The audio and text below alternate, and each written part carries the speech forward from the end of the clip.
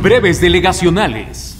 El presidente de la Comisión de Presupuesto y Cuenta Pública de la Asamblea Legislativa del Distrito Federal, Mauricio Toledo Gutiérrez, destacó que en el presupuesto del próximo año las 16 delegaciones recibirán un total de 34.168 millones de pesos, la cifra más alta en los últimos años. El diputado perredista sostuvo que en 2006 las delegaciones solo recibieron 17.718 millones de pesos, es decir, casi casi la mitad de lo que recibirán en 2017.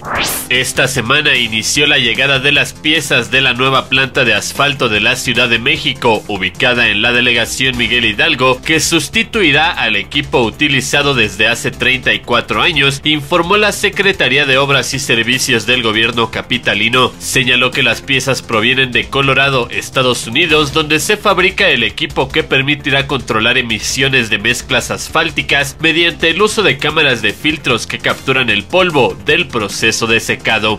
La delegación Cuauhtémoc informó que en el transcurso de este año 32 calles de la demarcación fueron rehabilitadas con obras de drenaje, repavimentación e instalación de luminarias, lo que ha inhibido los índices de inseguridad. De acuerdo con un informe de la Dirección de Obras Delegacional, tan solo en la colonia Doctores fueron instaladas luminarias en 31 calles, además 8 fueron repavimentadas tanto en banquetas como en guarniciones.